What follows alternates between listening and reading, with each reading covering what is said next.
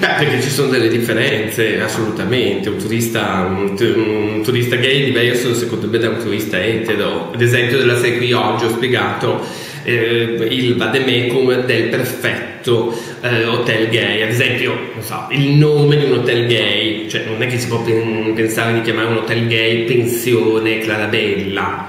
Mm, vogliamo chiamarlo, so, ai quattro nani. Ecco, già i quattro nani potrebbe essere insomma più interessante secondo me per il nostro pubblico. Senti, invece passando ad altro, eh, tu hai scritto un libro di cucina. Quanti anni hai?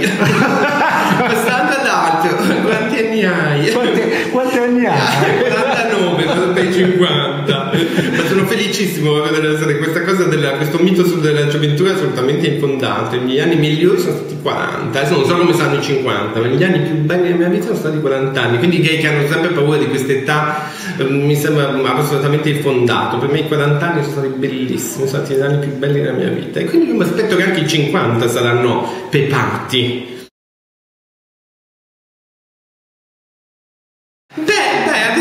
della serie dal punto di vista del lavoro è stato, è stato molto bello ho avuto molte occasioni di lavoro, ho fatto delle cose molto belle sul lavoro, sono stati anni in cui non sono stato accompagnato da un uomo, però li definisco lo stesso gli anni più belli della mia vita, nel senso a volte per essere felici non c'è bisogno di avere un fidanzato e quindi adesso sono single ma felicemente single. Mi sembra una buona un buon va bene anche perché alla mia età un po' si chiude con l'atletica leggera, non si ha voglia di fare delle pazzie che si è fatte prima.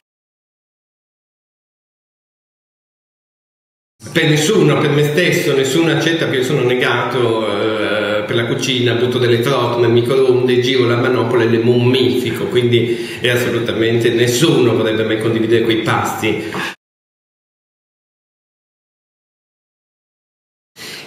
Cucina, bene, sta andando bene, ci siamo già alla seconda edizione e quindi siamo felici, insomma abbastanza è un libro poi che sto portando in giro, le presentazioni, perché faccio questa cosa assurda sulle pentole gay, in senso che mi diverto molto, nelle presentazioni sono molto divertenti, il pubblico è naturalmente una cosa paradossale che non ha niente a che fare con la realtà e appunto per questo a volte è divertente fare delle cose che non hanno nessun senso.